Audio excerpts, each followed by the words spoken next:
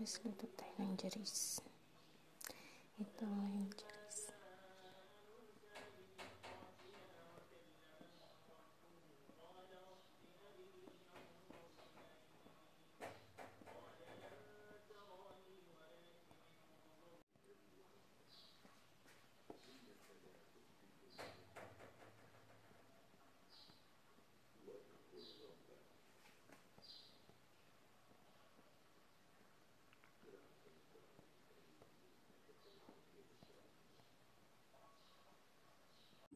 Hey guys, ito na yung jeris.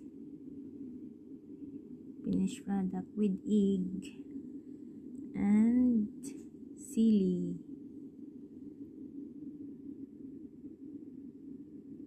Masarap kasi kung mayroong egg. Ito na yung jeris.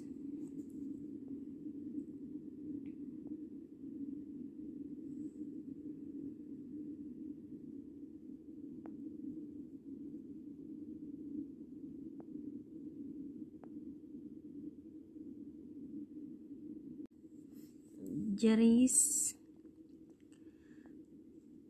ay ang ano ito siya?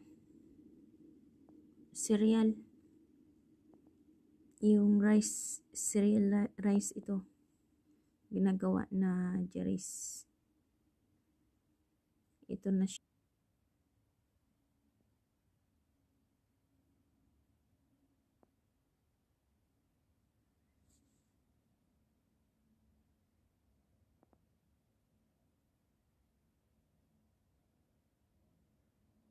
serialize with toppings.